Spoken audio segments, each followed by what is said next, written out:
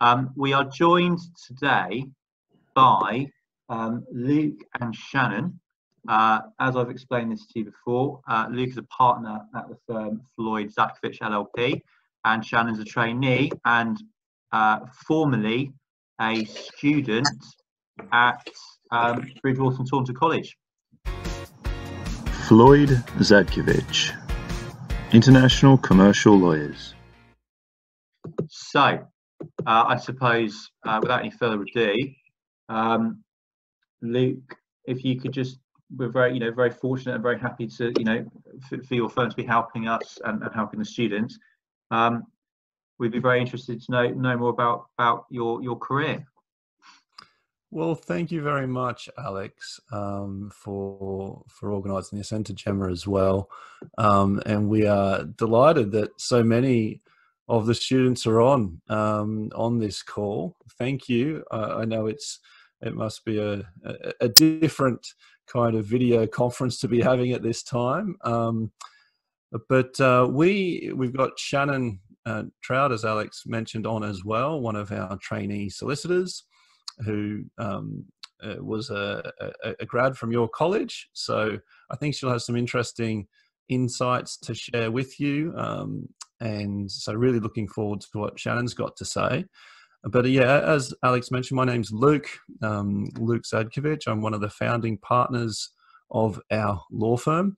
Um, and uh, I thought it might be interesting for you to just have a little bit of a background on me.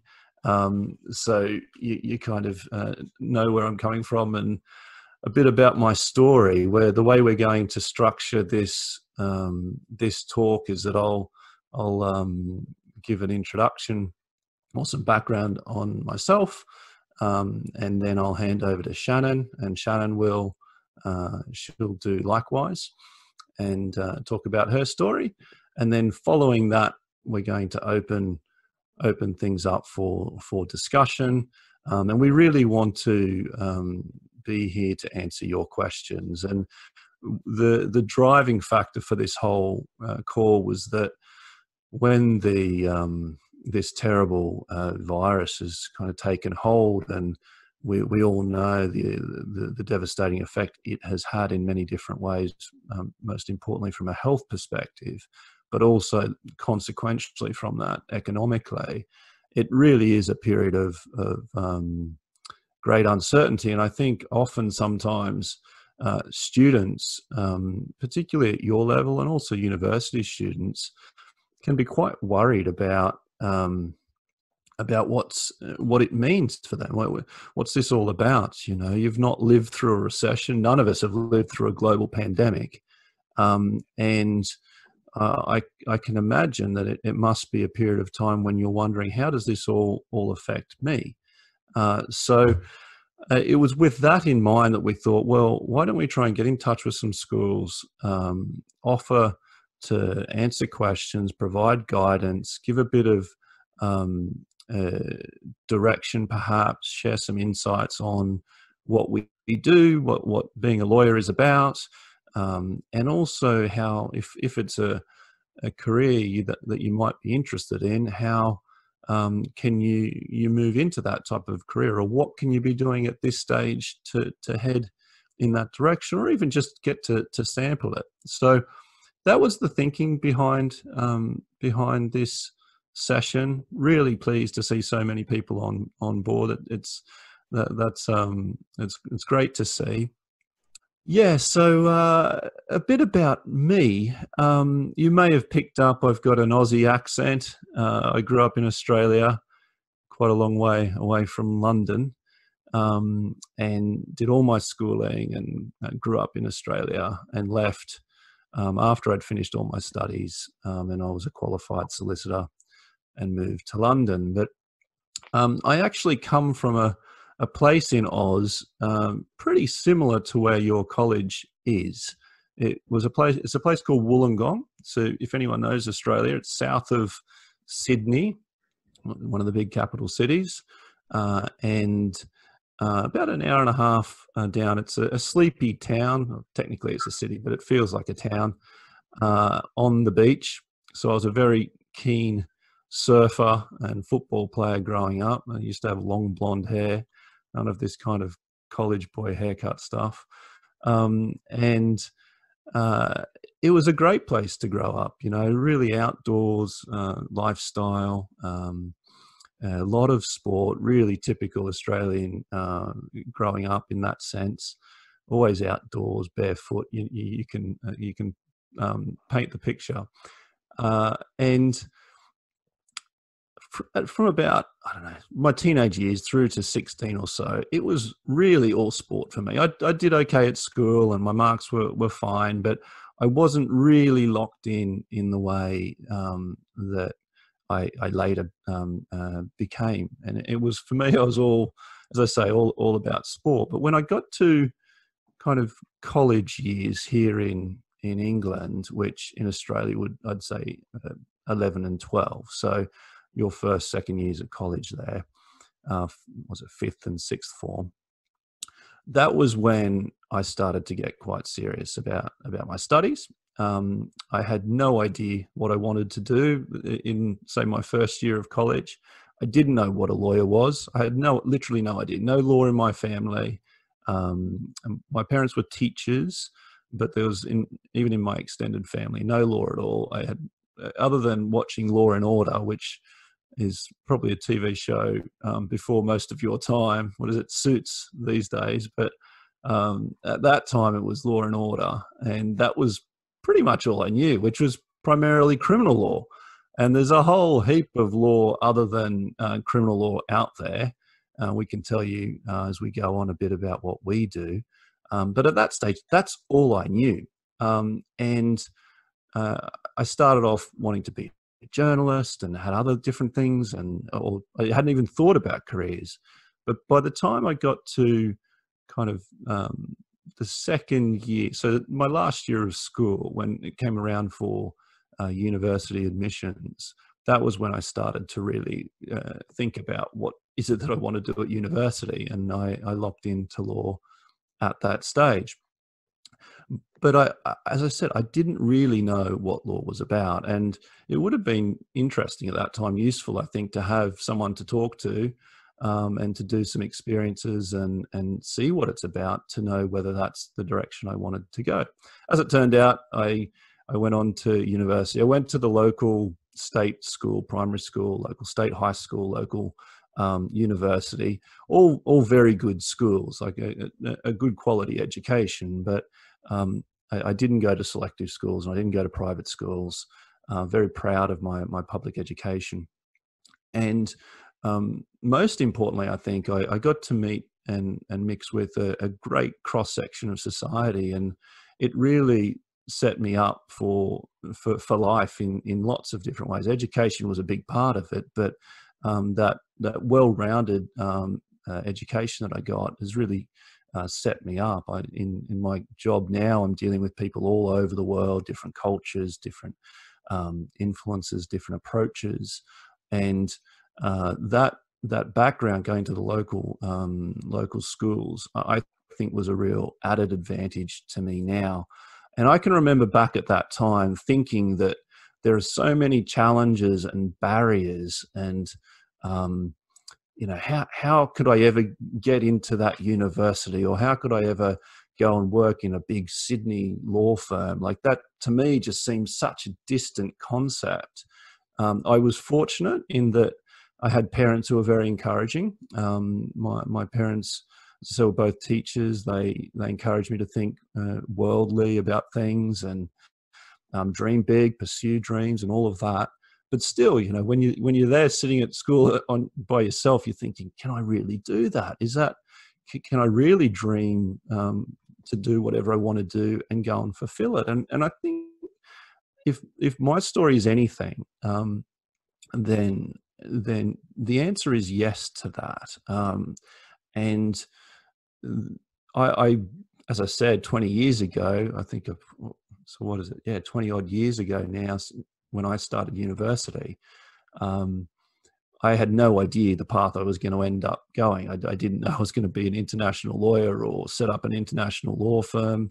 Um, we've we've now got offices in four different locations in London, New York, Chicago, Houston. We've got a great team, small team, but a, a great team of people working with us. Um, and I, I, honestly, I, I, at your age, where you're at now, I would have that kind of idea would have just seemed so far off. I would have been, oh yeah, whatever. You know, that just it, it, I wouldn't have thought it was possible. But you know what? It it is. It, it it is possible, and the the most important thing that I think I can I can encourage you is one to to dream big, um, but also to work hard, and that that's that's the most important the biggest takeaway from this talk if i can um, share any of my experience or my guidance is to work hard at whatever you're doing work hard. Um, whether it's your studies and at, at, your stage your actual marks are going to be the most important. It's the the uh, one step that i took that i um, am so glad i did. So as i said I, I played lots of sport all of that right through until 16 17 wanted to hang out with all the cool kids and you know this and that. Um, but when it got to those those college years that you're in now i really let a lot of it go. I, I kept up my exercise to stay sane and yeah so i'd still go out on a saturday night and let my hair down with my mates not during exams but you know during school year. Uh, uh, don't tell your parents i said that. Um, but uh, yeah i I really focused on my studies for those two years. I, I was single minded, um, put the blinkers on, and just really tried to get the best marks I could. And I said, you know what? I'm going to leave everything on the table. Whatever I can get, I get. That's my best. That's the best I can do. I don't want to look back at the end of um, school and say, you know what? I, I could have done a bit more on that, or I could have done a bit more on this. And those two years for me were, in terms of my studies, were the foundational years for the rest of my career. Now, I, I went on, as I said, to work hard, and I've got to where I've got today um, through working hard, I think primarily, but I did really switch on um, and, and study for those periods of time where, where you are right now.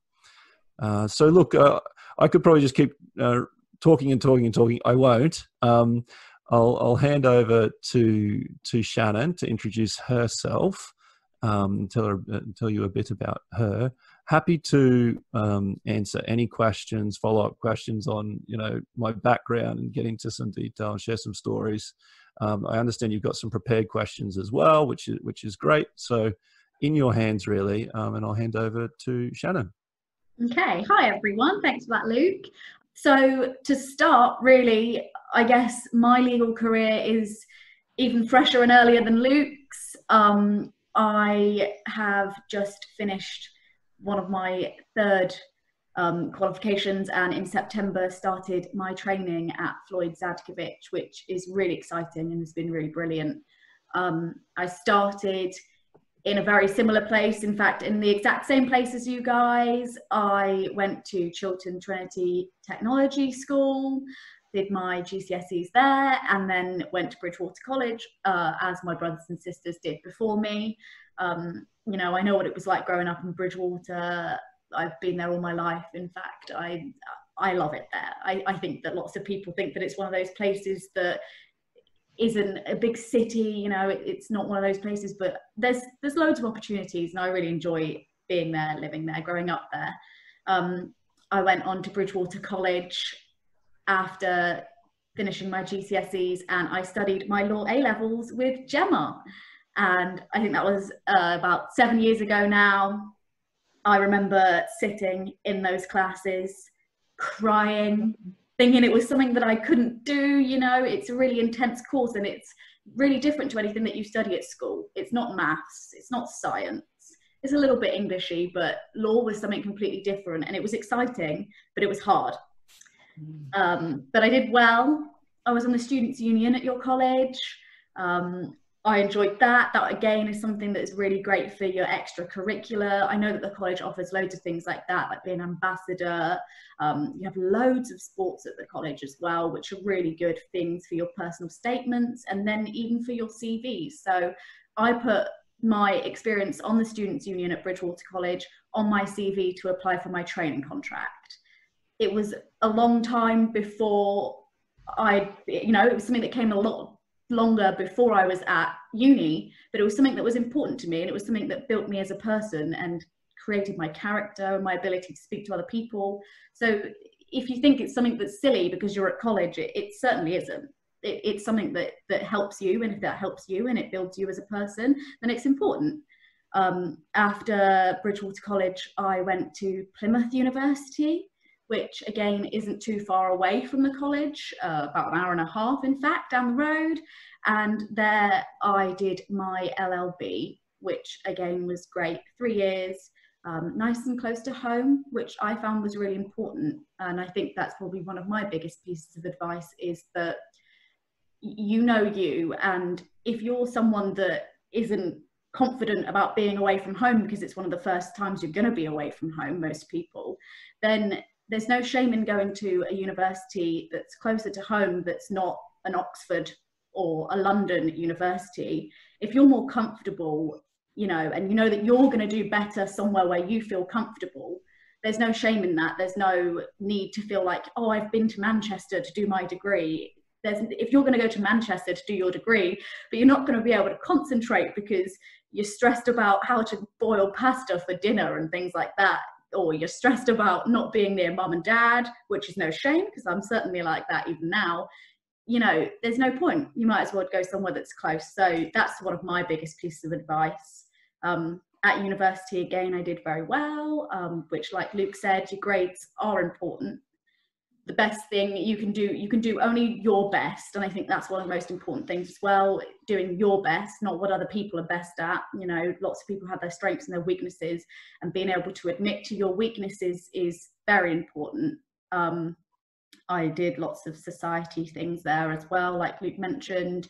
You can do another thing at bridgwater college i know you can do debate club with gemma so that's another great way to that that's brilliant. I think i remember doing debate club and my friends doing debate club great thing for your cvs um, but back to uni. Once i finished uni i went to uni again because i enjoyed it so much. And it was by the end of my degree actually that i knew that it was something that i definitely wanted to do. So then i went on and did a master's degree at southampton where i specialized in maritime law which is quite niche, maybe. Um, not something that everyone gets to know about or not something that everyone does, but it was a topic that interested me. And I think that's a really good thing as well, is like finding that one thing, fi- finding, if you like property, good for you. And, you know, really focus on that and make sure that you've got your um, variety of knowledge on it and that you know it well. And that will be really helpful for you. And then after my master's, I did the LPC, so that if you want to be a solicitor in the UK, in England and Wales, you would go on from normally straight from your degree to do your LPC. Um, that's a year long course. I did my master's and then my LPC, um, but you do that and then you go out into the big wide world and apply for those training contracts. Um, so that's what I've been doing. I'm now training at Floyd Zadkovich, been there since September and yeah, it's really enjoyable. If it's something that you are really passionate about and really want to do it, then I would highly recommend taking the route that I've taken. Um, whether that's going to a different university, going and doing two master's degrees afterwards, or no master's degrees afterwards. It's a really um, fulfilling, even at a trainee level role and I would highly recommend it um, if it's something that you're interested in. I'd be more than happy to help you with your personal statements because I remember that being really daunting and really terrifying. Um, what are these people going to think about me? Why they're not going to, you know, they're not going to judge you for anything. If anything, they're going to be excited for you being on the football team or doing that debate that you lost you did it so that's great you know? So um, yeah really happy to help with anything university wise really happy to take your questions on anything that you'd like to ask. And i think on that note i'll hand over back to alex to take those questions from you guys. Thank you. Okay thank you very much luke and shannen. Um, so what we've got um, is we have a just over a dozen questions which we may not have time to go through all of them uh, but we'll, we'll try our best. Um, uh, there are a mix of personal questions which might relate to what Luke and Shannen have said, and some of them are, are more legal related. so okay, that's that's a good question. Um, maritime law is uh, it's a multi-layered area of law, and it, it, it can get quite complicated. There there are regulators um, involved, but I, I'm not sure the regulators are the are the main focus in maritime law. Maritime law uh, relates to um, pretty much the carriage of goods by sea. So we're, we're all aware of um, uh, commodities that are being shipped by sea from you know ports all around the world, whether it's goods coming from from China into England or um, you know, uh, grain that's being um, harvested in the US and shipped to parts of the world. All of that carriage of commodities by sea, that that is the maritime that we're talking about here primarily. Um, so the ships that are sailing and, and carrying the commodities, that's the maritime element. And maritime law relates to all the laws um, that govern contracts and incidents and collisions and injuries and all of those kinds of things that happen in and around the carriage of goods by sea. So the the laws um, uh, come from a few different sources. There are national laws, um, so each country will have its own maritime law, uh, where that law will will set out um, what can and can't be done in certain respects, um, and you will find maritime law in every country basically that has um, that, that has some um, border to the sea. You also have sitting above that international conventions uh, where um, nation states, so governments, get together and um, seek to agree on what standards they will apply uniformly um, and internationally. So, in other words, rather than having different maritime laws in the UK um, on certain issues than um, the, the maritime law in the US, uh, they seek to agree upon that at an international convention level. And then, um, with that convention agreed, uh, they then, uh, the governments then implement the international convention in their respective countries. So, when you're looking at the regulators or you're looking at the source of law, the lawmakers in maritime law, you're looking at the um, the, the nation or the, the country in which this issue is arising. The other really important part of maritime law to think about is that a lot of the issues that you see are contractual. And I, what I mean by that is a lot of the arguments or the claims, commercial arguments that arise between the parties relate to a contract. So if if um, Lisa, you you are um, selling some product. You've got some grain that you want to sell to uh, to me, and I'm I'm in Australia, and uh, your grains they're uh, near the college. What, what, would be the closest place um, to ship at Plymouth. Uh, yeah, maybe. Anyway, Plymouth. Okay, so Pl- Pl- Plymouth to let's say Plymouth to Sydney, and um, I say yes, I want to buy your grain you say, okay, I'm going to charge you a hundred pounds. I say, well, that's a bit steep. Can we do it for 80 pounds? And we settle on 90 pounds. Uh, we'll then put that into a contract and we'll say, um, I'm the buyer, you're the seller, uh, and I will pay you 90 pounds um, for, uh, for your cargo. And let's, let's say for argument's sake that that includes the costs of um, uh, delivering the goods to Sydney. That's a pretty good deal for a buyer. Um, uh, and um, so then, if we have agreed that you are responsible for delivering those goods to Sydney, you have to find a ship. You have to go and get a ship to carry the grain from Plymouth to Sydney.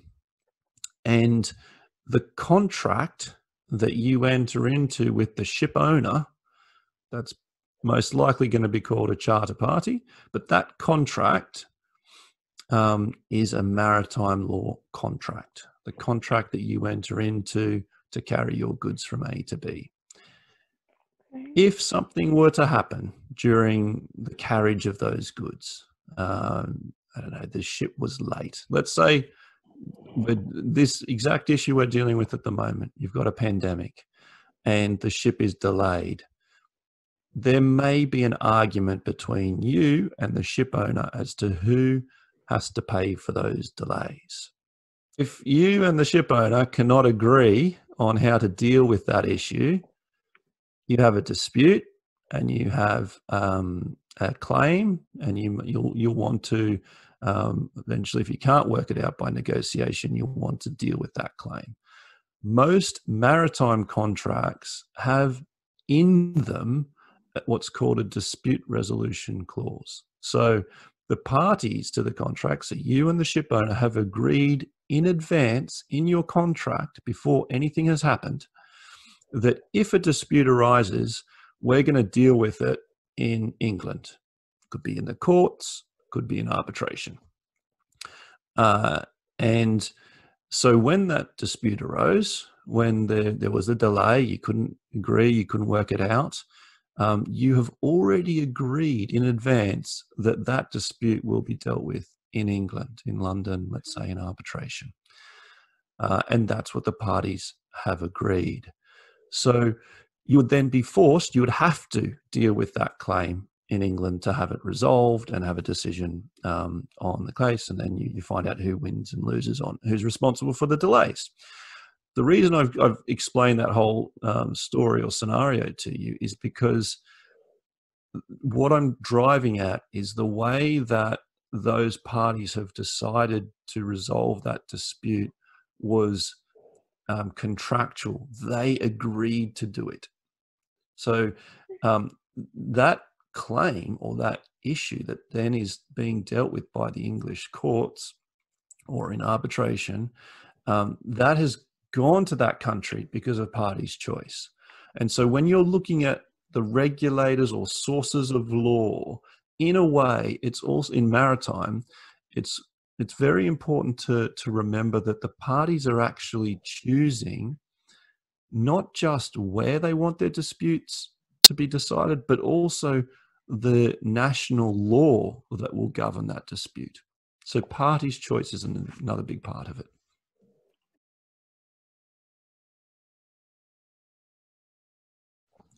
I think the short answer is the challenge of it, and and um, uh, going out on on our own and um, setting it up. It wasn't a, a, decision that was made overnight. Um, it was a bit, a bit of an itch uh, that um, I, I, had for quite a long time and just kept scratching, and eventually I went ahead with it. Um, I, I think I was at a point in my life. So for everyone, everyone's understanding, our firm has been going for three years. Um, we set it up, and we we set it up first in New York. Uh, I um, co-founded it with my partner Ed Floyd. So it's the Floyd in in Floyd Zadkovich. Uh, and that's a bit, bit of a mouthful to for a law firm anyway to have Zadkovich in your name, but it seems to be doing all right so far. Um, anyway, so we set it up in New York, and the idea was to bring together US law and English law in one small boutique um, and be able to do both areas or and there's not really any other firms that are doing that. Um, they're either english firms or they're us firms. And so our kind of idea was to combine the two. Um, and I, before that i had worked in big um, law firms. I worked at one of the major um, london shipping law firms. I also worked for it's called a P&I club, but it's like an insurance um, mutual for or an insurance company for um, for ship owners and, and trading companies. So I had some experience in big institutions and big companies, and the same back in Australia as well. And I, I don't know, I just wanted to try and do my own thing. You know, a bit of the entrepreneur in me, uh, and wanted to to give it a crack. Um, and like a lot of what I've done over the years, I, I thought about the plan, um, let it settle, think it through, work out what's the best way to do it, and then Jessica, I um, I kind of yeah laid out a, a, a plan a number of years in advance, really, um, to develop a, a network uh, in an area, um, in a geographical area, which was the, the, Americas, to go with the other contacts that I'd already built up, um, such that I got to a point where I thought, you know what, um, I can do it. The business case is there, and mm. you know, um, yeah, those were kind of some of the yeah. the factors, and also this. I've always liked the idea of working with teams and um, creating your own team uh, is a, is a great feeling. It really is, and yeah. seeing people like Shannen and the others others in the team all you know wanting to work for the, the, the common cause that we've we've set up. It's a really good feeling.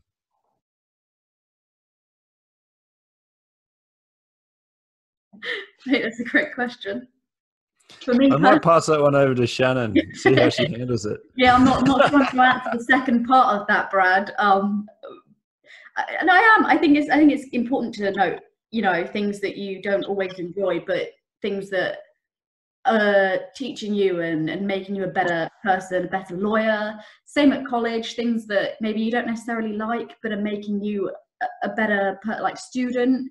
Um, so I think something that I don't always enjoy is uh, how fast paced it can be sometimes. I think it's something that you need to expect being a lawyer, and it's something that I'm learning. So, bearing in mind, I've been in a studying situation the same as you guys until last September. So, that's something that you don't really experience when you're studying. You know, you have a six week deadline for work. And so, something I imagine that lots of trainees experience, not just about working at Floyd Zadkovich, is how fast paced things can be. And that takes some getting used to. But that's also one of the good things about the job and one of the fun things. And I think that is also something that I do enjoy. So it, it, it goes in both hands. I think Luke probably confirmed that he felt the same way when he started, hopefully. um, but I enjoy learning new things that's my main thing. Um, it's something that I've always enjoyed. From crying in A level classes, it, it, it, was still fun because I was learning something new. You know, doing those degrees, it was great learning something new, but not just learning something new academic wise, learning something new about other people and getting to meet other people. And at Floyd Zadkovich, my network has just been opened up massively. And like Luke mentioned earlier, um, he took his time making his network, and, and I've noticed that that's something really important. Um, it's it's the fun part of the job, really, it, one of the fun parts because there's many of them. But I I just enjoy meeting new people, speaking to new people.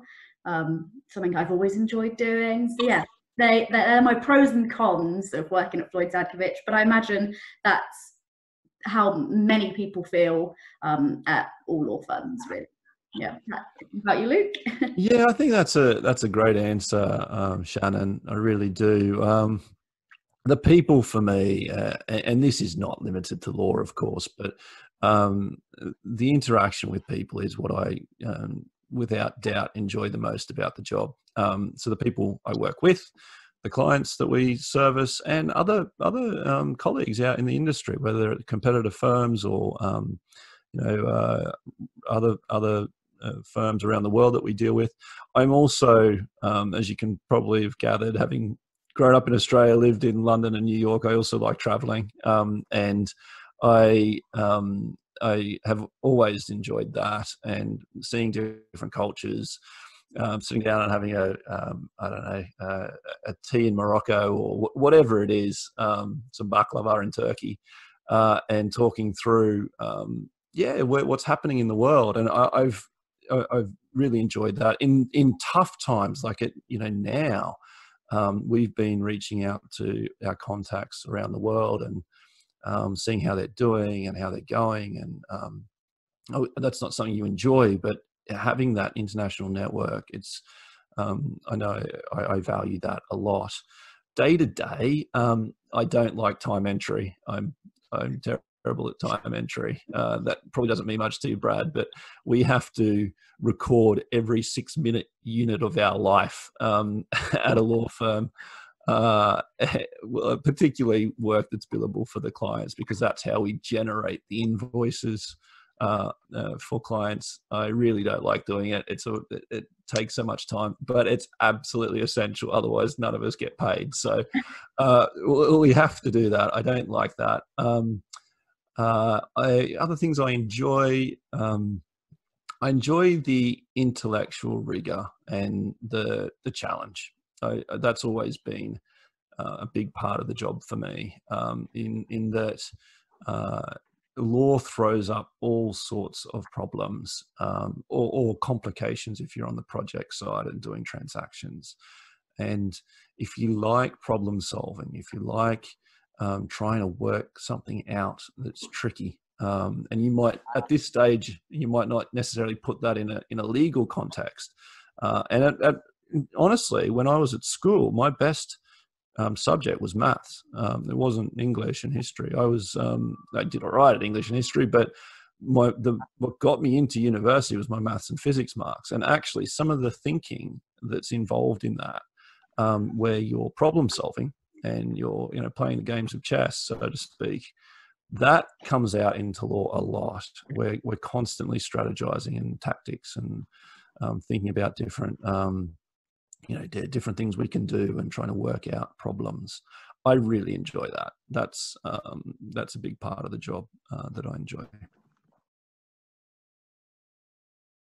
yeah yeah so important question um, from from our perspective in terms of floyd zadkovich's perspective um, we are very fortunate to be honest um, in that um, our business has been able to continue to work largely um, uninterrupted uh, by uh, COVID. We have had to change how we are set up operationally, um, and I can touch on that briefly in a moment. But compared to many many businesses out there um, and and workers and, and others, um, we're we're quite fortunate to be honest. Um, and yeah so in a way um, it's it's more our clients and those that we are working for that have been affected um, and drastically affected and so the types of companies that we work for um, are commercial companies primarily we work for some individuals as well um, but it's primarily international businesses and they have been affected in many many ways by the um, by the economy being shut down. Um, a lot of them have not been able to ship their goods. They've watched the demand for their goods dry up overnight. There have been quarantine periods imposed in a number of countries where if a ship turns up to the coast, let's say in Italy, which was one of the early uh, heavily affected countries. Um, ships had to wait there for you know days and days before they could um, discharge their cargo. All of those delays adds up to um, uh, economic consequences for the client, uh, and so there's a, there's been a lot of um, complications for our clients. But operationally, we were already um, working primarily we have an off offices, of course, where we go to, but um, in providing our advice and working on our cases, most of that is done by email uh, or other online um, software. We can even file claims um, at court electronically these days. So if you want to commence a, you know, a twenty million dollar claim against someone, that can all be done online. Believe it or not. Uh, and that's the same in the US as it is in England and other parts in the world. And um, what's been new is that the courts have really embraced uh, online technology over the last two, three months uh, so that um, trials and hearings are being um, had over uh, conferencing systems just like this one. And maybe not Zoom, but I think it, it was Skype that we used for a trial. Yeah. Um, and Shannen, you got to see that uh, that trial. It was really interesting. Um, so I think that was last Monday and we had a trial via Skype. It was actually my first ever trial plus first ever virtual trial, and it was interesting, you know, and it, it's quite cool to see the way that it's all adapted because of the coronavirus, especially in terms of the trial, the way they're running trials, definitely.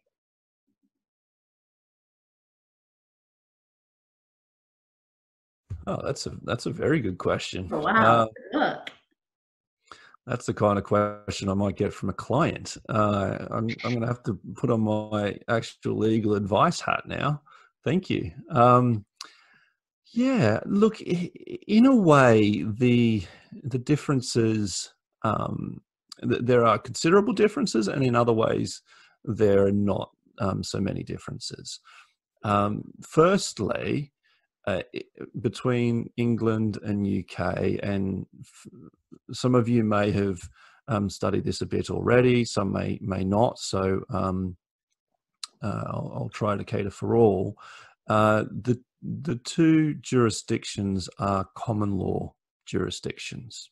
Okay, so if you've if you've learned at all about civil law jurisdictions like in France and um, uh, other countries which are more code based, um, both the UK and the US are common law countries, so their their origins, at least, um, are, are, based in um, ju- judgments and judge-made, court-made law. Um, of course, as the years have gone on, um, that has changed, and now Parliament um, is is very active, and there's a lot of statutes in place in the UK and in the US. Um, but at, at, their at their heart, they are still common law jurisdictions, and indeed, the US system is a derivative of the UK system, just like Australia um, is as well, and some other common law um, countries that have had English influence over the years. And so the way that the US system is structured and the way it works largely follows uh, the UK.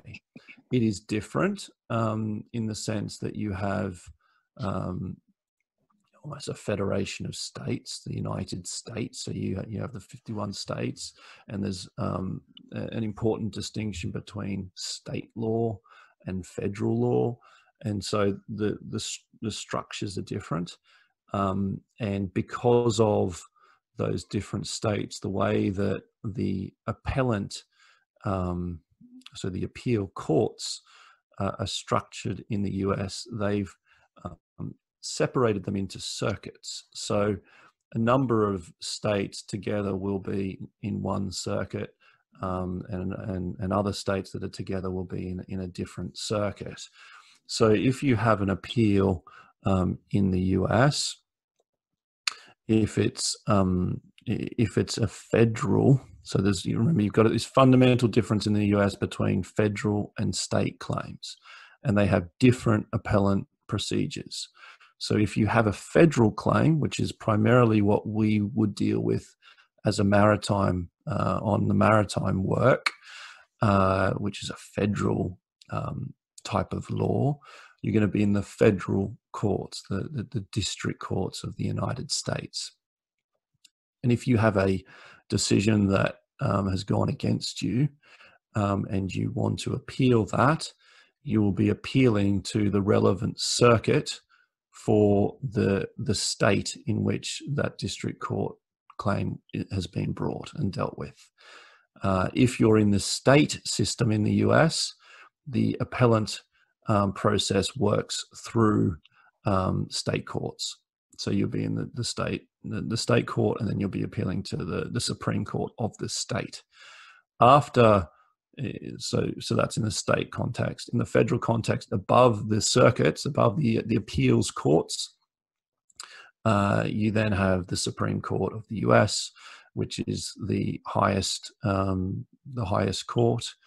Uh, there are different rules about you know what what you can appeal at certain levels. Um, typically, it's going to be um, on an error of law, so you're going to be arguing that the judge at first instance of the first court that dealt with that claim they were wrong as a matter of law. Um, there are there may be procedural irregularities as well, but typically it's going to be an error of law. Uh, and so you're in the federal context, as I say, you're going to go district court to the appeals court. But then, if you want to get into the Supreme Court of the US, you need to have a circuit split.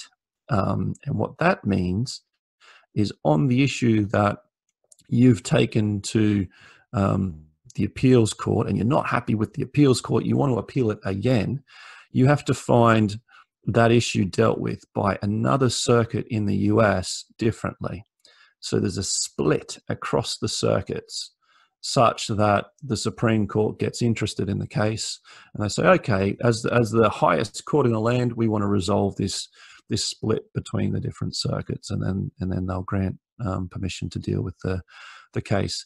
In England, you don't have this this important um, as much anyway. You don't have this important distinction between states and federal law. Um, it's mainly going to be English and Welsh law, and but you do have similar um, appeal courts. So most of the uh, cases we deal with are in the commercial court, um, and if we want to appeal that again, typically it's going to be on a point of law. So an error of law, uh, it will be to the Court of Appeal.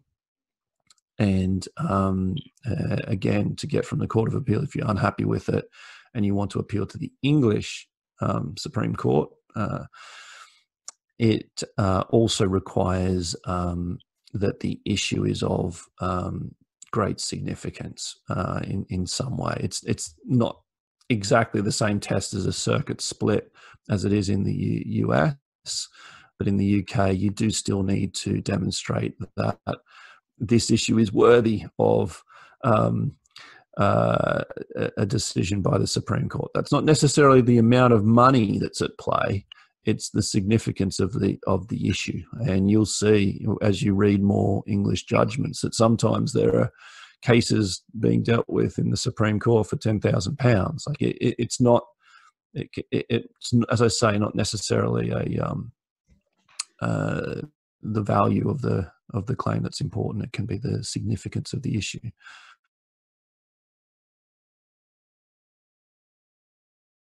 Um, what?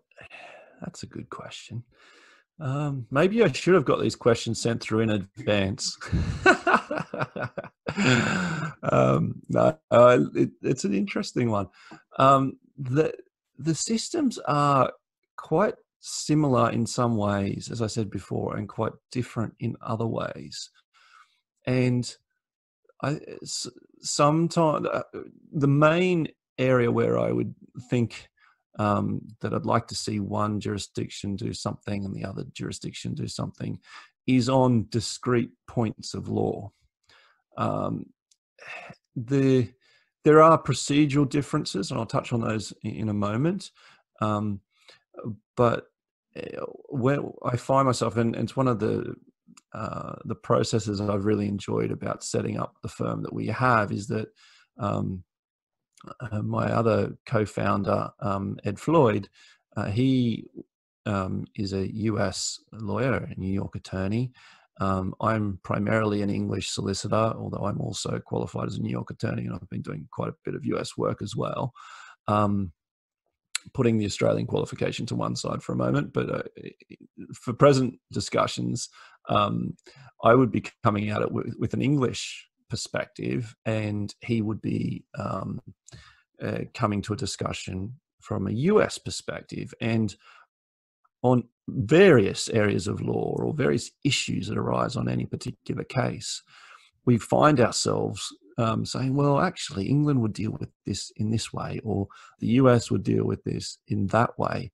Um, and we have found having the different perspectives on a case have actually um, allowed us to be much more creative in resolving cases and coming up with new arguments. Like there's a an example, a recent example um, that I could give you. It, I won't get into the detail of it because it is quite um, complex. But we had a um, a journal article uh, published by Tulane Maritime Law Journal, which is one of the leading um, maritime law publications. Uh, Tulane, uh, T U L A N E, and they're the, the US equivalent of Southampton, if you like, a very focused maritime um, course there, and they have a great journal. Anyway, we were fortunate enough to be published by them on I, I, think a fascinating topic. I'm not. I'm not sure uh, everyone on here might find it as fascinating as me, but it was all about um, a ship owner's liens over cargo, and it is. A, it is, as I say, it's quite a nuanced area of law. So I will not. I won't get into the ins and outs of it, but it was basically about how a ship owner can hold on to cargo to make sure they get paid. That's effectively what it breaks down to. Um, and if in in England, if you're a ship owner and you agree, going back to the example um, earlier, was it was it was it with Lisa? Was it Lisa was shipping grain? Anyway, yeah, uh, yeah. Um, going back to to the example of um, Lisa shipping grain from Plymouth to Sydney, the, the ship owner would say to Lisa in that situation, "Well, uh, you have to pay me um, whatever it is." So it was ninety pounds the deal. So we'd say the shipping was sixty pounds or something, something less, maybe sixty pounds. The ship owner will say, "You have to pay me that um, sixty pounds, otherwise you're not going to get your cargo. I'm going to hold on to that cargo until I am paid." That's in legal terms what we call exercising a lien.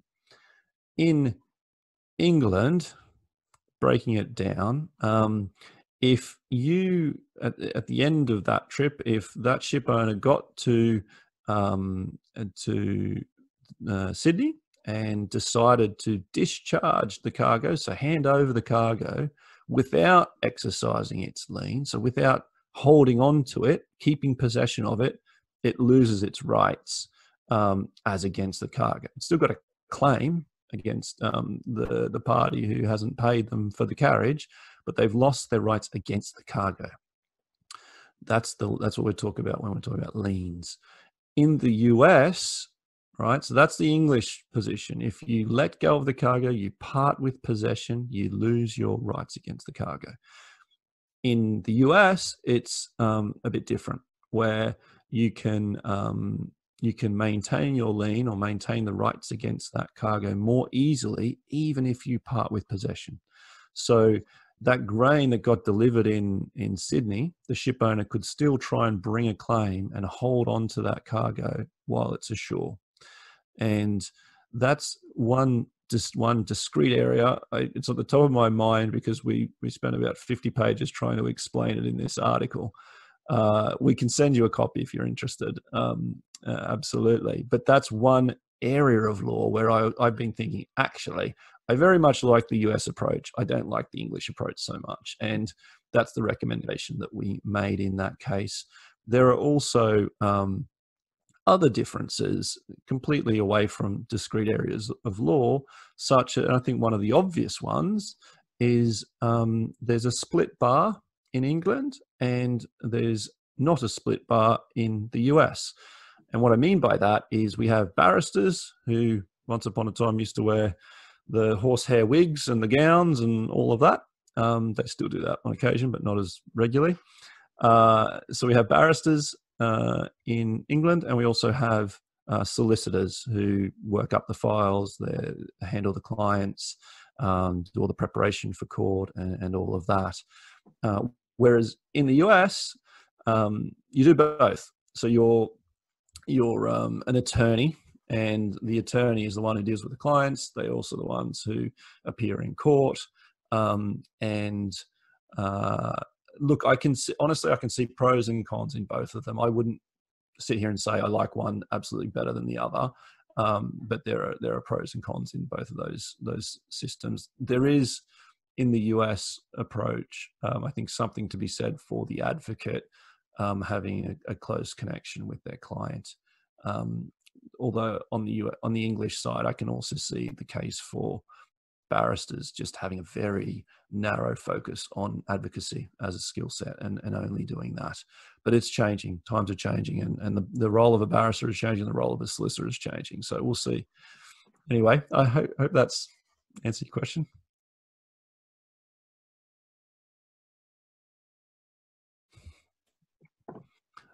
So, so, so everyone knows. Uh, just to frame the question a bit, um, Magic Circle firms are the top, let's say top 10, maybe it's six or seven or eight, but uh, top 10 law firms um, by size, scale uh, in, in England.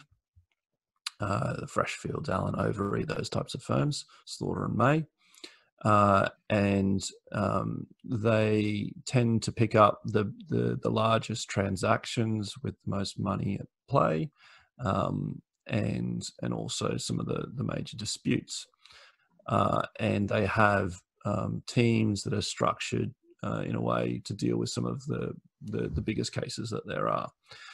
Um, that said, um, there are a lot of boutique uh, law firms um, or mid-sized law firms that um, deal with um, major transactions and major um, litigation. We are, in terms of the big ticket stuff, we are more on the litigation side than the transaction side. Um, and we do handle many transactions, um, but the, the big M&A work is really handled by the, the Magic Circle and, and the bigger firms. But on the on the litigation side, um, the the boutique firms do um, just as much, arguably, as uh, as the the Magic Circle on on that um, large scale work. Uh, how I'm not sure it would be different. It's more a question of wh- whether the work is um, retained in the first place.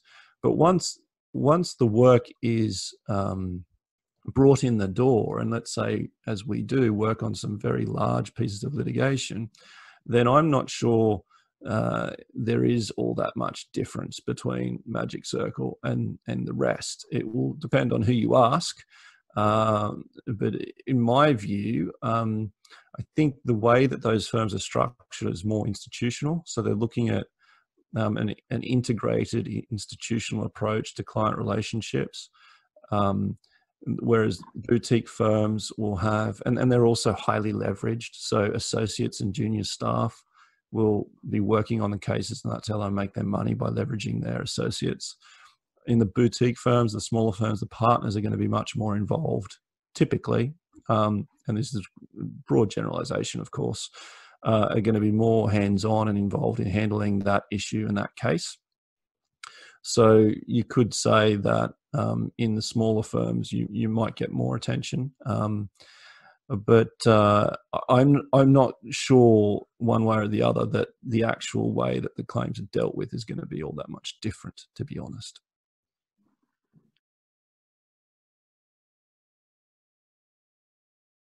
Um, to be completely honest, I thought the transition from GCSE to A level is a lot harder. Um, you're expected to go really in depth in something in your A levels that you don't necessarily do in your GCSEs. Um, I found my LLB really interesting, and the format made it, a, the jump didn't feel that big. It didn't feel like I was going into something that I totally had no idea what was going on. You also have your like basic legal background from your A levels that helps on your LLB. Um, I certainly couldn't say the same about the jump from LLB to masters because that again was something super specific. So that jump felt very big. Um, that I was prepared for it. And I think that's the most important thing is that you shouldn't be worried that you won't be able to handle it because you definitely will. And universities have that support system that if you feel like you're not quite getting hold of it, they will help you. You're not left on your own you know, um, my university was brilliant with things like that. So to answer your question, I think that the jump is probably bigger from GCSEs to A levels, and you'd be totally fine um, going on to the LLB if that's something that you wanted to do. Um, okay. Um, top three qualities. I think the academics uh, um, are important. Um, there's no getting around that. that. Um, hard work and demonstrating that through academics um, uh, is a, is a key factor. Um, the person themselves, how they they come across, how they interact, how they speak, um, you know whether they're engaging, whether they're interested. Um, we a, a big part of our in our firm, what we look for is a good fit. I know that sounds like a bit of a cliche, um, but it is present company accepted. No, Shannen, I'm joking. yeah, um, thanks very much, Lucas. Uh, but no, you can you can get a feel for you know just speaking to Shannen. Um, you know that uh, it's important for for our firm that we have personable people and people who um, are engaging and um, uh, yeah, willing to um, uh, speak up and uh, confident and all of that. And then the other one, and this is what I wanted to touch on. I might as well do so now. Is is really about commitment um, and hard work and dedication, uh, and that that's going to take you a long way, no matter what career you want to do, whether it's in law or or anything else. Working hard is really going to be, in my view, the defining factor as to how far you go. Um, it's what's got me to where I am today. In every role I've had, I've worked hard. Uh, first worked hard for my grades in in um, you know the college years that you're in, and then um, when I went to university, my marks were still good, but I, I started working as a paralegal from the first year, and worked throughout all my LLB. In Australia, you actually do an LLB with another degree, so I did politics and um, and law, and uh, worked for so studied for five years. Um, and I worked for the vast majority of that. And, and the work that I did as a paralegal, I then used that as a springboard to get my first job as a um, qualified solicitor after finishing my studies. Um, but as I say, the, the key in that was really to work hard. And the way that you demonstrate that um, in an application process is by showing commitment to other things. Uh, so, studies, good marks, number one definitely, but getting involved in other things, extracurricular activities, whether it's um, associations, journal writing, um, something outside of school, so sporting or hobby or, or what, whatever it is, or working. You know, a lot of us have to work. Um, let's make no mistake about that. I had to work to get enough money to get myself through my studies. I didn't have any money given to me by my parents. Um, so I had to work. And so I, I looked at my practically through university as well. I need to earn money. I might as well be a paralegal and earn money in a in the field in which I'm um, interested in. And then I'm going to learn about what a lawyer's like and the rest of it. So, but it, coming back to your point, that third quality is is commitment, dedication, and an interest, a real keen interest in what that um, that law firm does. So, as Shannen touched on before, uh, if we're looking for a you know a, a, maritime candidate or or whatever. We, we, don't just do maritime law. We do commodities. We do international arbitration. We do lots of different um, areas of law. But what I what I'm looking for, and, and again, this came through with Shannen. I hope she doesn't mind me saying so, but um, came through in, in her masters and, and going to Southampton and, and that real interest in maritime demonstrated to me that she's committed to wanting to work for that firm. And so, if you're if if you're interested in um, in a particular area of law, and you won't know this now, this will this will happen as you get into um, into your law studies at university, that you start to focus on a particular area, then try and line up work experiences with firms that you can learn more about that industry. So if you're, you know, wanting to do property, try and get get in with a law firm that does a lot of property transactions. Learn more about the industry um, that that law firm seeks to serve. And if you add those other things to your application process, and you can start to do it now. Really, you can start to do it right now and think about okay, I want to I want my personal statement to be full of interesting things. What can I be doing in addition to my studies over the next year to make that full to the brim? And then you you then go on to if you if you do go on to legal studies, and you carry that approach through into your degree as well and look to to fill it out with other experiences and and that's how you demonstrate that commitment factor and i think it's a key part of it that's a really good answer, Luke. And I also just to add, I think that um, having legal work experience is amazing and that's really great. But at your level at the moment, that might be hard to grab. And I know that when I was at college, I worked in uh, Costa Coffee for a few years.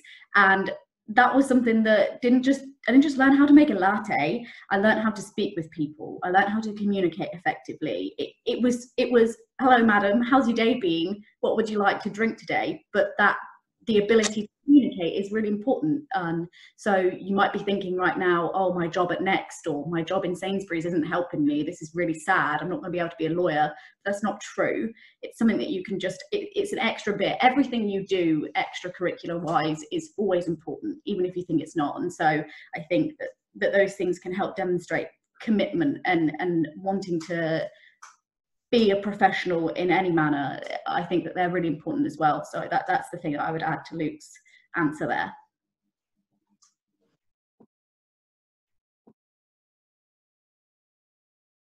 That's a that is a uh, an interesting question. Uh, I I can't help but um, think of that question in the context of what we're where we are right now, um, and there it's multi multifaceted, of course, of that kind of question. Um, but I was reading only recently that um, one might expect, because as I mentioned before, a lot of the courts for um, for during this period have been operating online, and um, have been uh, you know running trials and hearings through Skype and and all the rest of it. Um, and so I would immediately think, you know, the first instinct would be like, oh, well, that must make it easier to um, to deliver justice and um, to provide, uh, you know, the, the services of a court to all parts of society, and for particularly unrepresented uh, litigants, that not having to go to court, being able to deal with it online would be a um, an easier process. However, some of the reports that I, have been reading um, go the other direction, and that actually for unrepresented litigants, that it's uh, trying to work the technology out is another complication or another you know, difficulty in this process. Now, that might just be a short term issue. Uh, as we all get more used to using video conferencing services and the rest of it, but I thought it's it, it's an inter- it's an interesting angle because while this seems like only a small part of answering your question, um, the way that justice is being delivered is going to change. I think after this, you, you are going to see more technology in courts, and longer term, I'd, I'd like to think that that might assist um, access to justice. Um, it, it's going to require um, the guidance uh, from from the courts and others uh, to help the unrepresented litigants. Um, but there should be some some advantages to that. Um, perhaps breaking down some of the barriers. But again, technology can create barriers in, in some parts of uh, the country as well.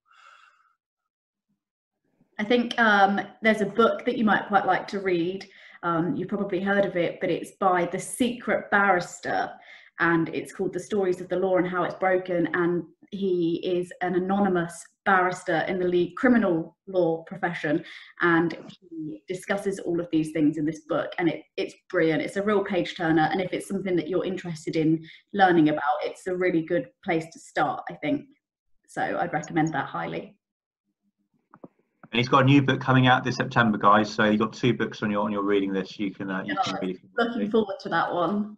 Yeah. Okay. I'll, I'll I, have to put it on my list as well, then, by the sounds of it.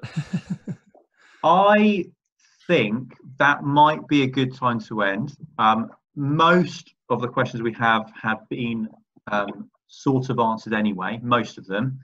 Um, but I was thinking that might be a good time to basically for all of us to basically say thank you um, to uh, Luke and Shannen, uh, who would obviously be busy doing something else. I presume they're not billing us um, in six minute uh, intervals like they normally would be.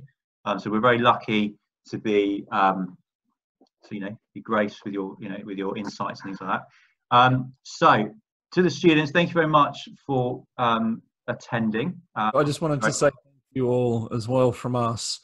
Um, it's yeah, it's it's a, an uncertain time, but uh, I, I genuinely believe that we're going to um, get through this stronger on the other side. And um, don't let any of what's happening at the moment um, worry you long term. Thing, things will will play out and find a way uh, through. Um, I'd encourage you to um, to to try and try and line up some experiences. We are, um, as a firm, we are um, developing a, a, kind of uh, work experience, a virtual work experience for the summer. Uh, so if you've got some interest in that, write to Shannen. I think we're going to set a little um, little project first, uh, where you can um, describe, you know, your interest in in a career in law, and from that we'll be selecting um, uh, selecting some candidates for a virtual uh, work placement with us. Um, and as Shannen also mentioned, if if you want if you want a second pair of eyes on your um, personal development statements, we'd be happy to to help out there as well. So, look, we just wanted to um, to let you know that there are uh, firms out there that want to see you succeed, um, really, and I, I mean that um, quite genuinely. So, all the best, um, and thanks again for for jumping on today.